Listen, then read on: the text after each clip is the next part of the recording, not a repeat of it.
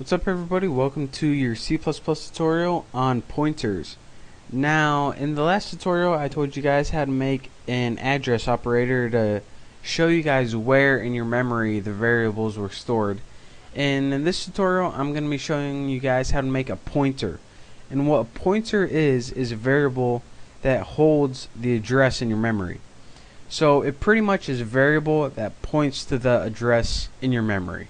Just saying it twice, but so the first thing that we're gonna want we're gonna want to do when we're building a pointer is declare the pointer or tell C++ that we're gonna be working with it.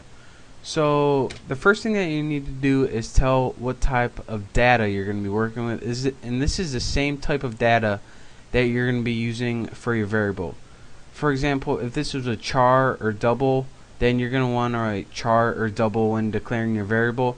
But since this is an integer you're going to want to write integer for your pointer. So we have an integer pointer and the syntax to declare a pointer is star. And it's actually called an asterisk. It's a symbol above the A but I usually call it a star so just deal with it. And then you can name your pointer anything you want. I'm gonna name mine pointer because I am that creative. And then once you're done declaring your pointer C++ goes alright I can see that you're going to be working with a pointer, but what do you want to point to? What address in your memory that do you want to point to? And since it asks, we have to answer it. We go, alright, since we already have this variable called pointer that we just declared right here, you don't need to use the asterisk because that's just declaring it.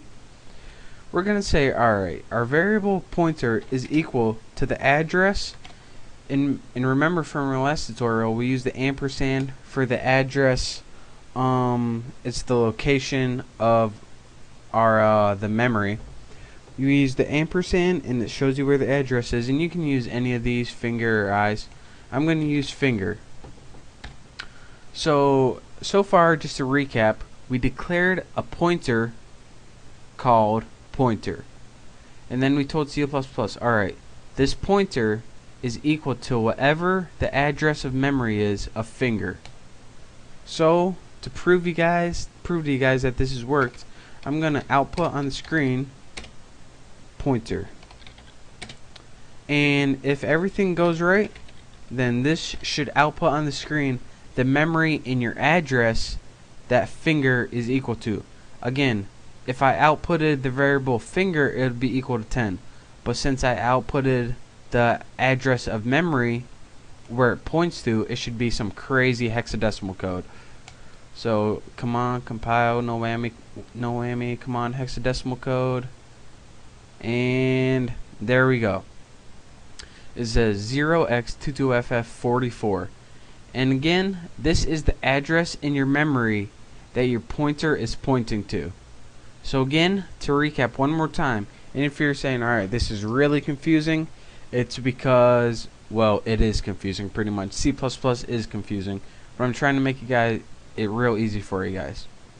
We have a variable, we declared the variable, and we declared the pointer. And what a pointer does is pretty much point to the space in your memory. So, what space in your, your uh, memory do you want to point to? We want to point to wherever in your memory the variable finger is. So, in right here, we just output it on the screen. Where is it? This is your place in your memory on your computer. This is what your computer is seeing right now. That's where your variable finger is stored. So this will make a lot more sense when we actually use it to do something useful. But for right now, just study this tutorial, learn how to build a basic pointer, and learn the basics of what it does.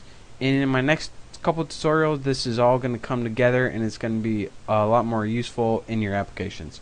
So thanks for watching. Remember to go to my site, thenewboston.com, and I'll see you next time.